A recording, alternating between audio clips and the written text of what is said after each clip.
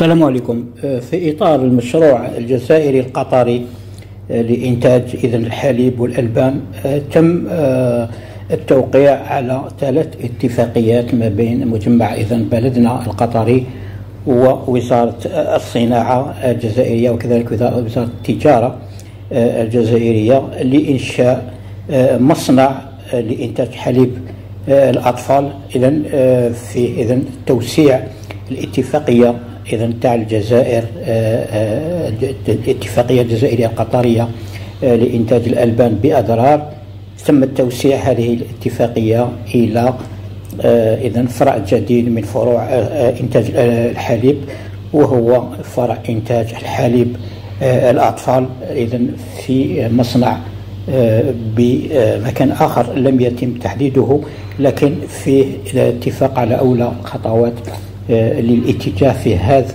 الميدان تاع إنتاج الحليب الأطفال. وأنا أؤكد حاجة قلتها من قبل كثير أنه الأمن الوطني هو يمر بالأمن الغذائي.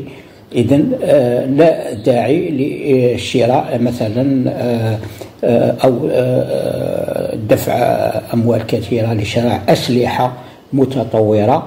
ونحن لا ننتج حليب أطفالنا إذا لا بد من التحكم في هذا المورد الهام ل يعني تغذية الأطفال وهو إنتاج الحليب الرضع في الجزائر بسواعي جزائرية وبأموال جزائرية وكذلك بموارد ومواد جزائرية. أترككم تتابعون هذا التقرير حول الاتفاقيات الثلاثة التي الجديدة التي تمت توقيعها ما بين الجانب الجزائري والقطري لإنجاز إذا مصنع لإنتاج الحليب لتغذية الأطفال.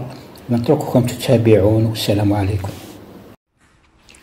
في إطار إنجاز المشروع المتكامل لإنتاج الحليب المجفف بشراكة مع الشركة القطرية بلدنا تم اليوم بالعاصمة التوقيع على ثلاث اتفاقيات شراكة حيث تضمنت الأولى عقد اتفاقية بين الشركة القطرية بلدنا للتجارة والاستثمار ووزارة الفلاحة والتنمية الريفية لإدماج حليب الأطفال الرضع ضمن المشروع.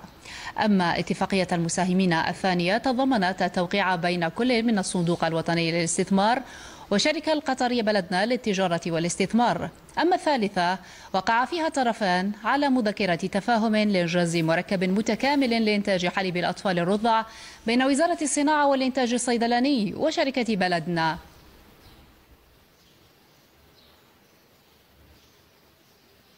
هذا المشروع سيدون في قائمة ثرية لسجل الشراكة القوية والفعالة والعلاقات المتميزة بين البلدين الشقيقين قطر والجزائر ويعتبر ترجمة وتكليلا لمساعي السلطات العليا لدى البلدين في تطوير مختلف القطاعات من خلال تعزيز مبدأ شراكة ناجح ناجح.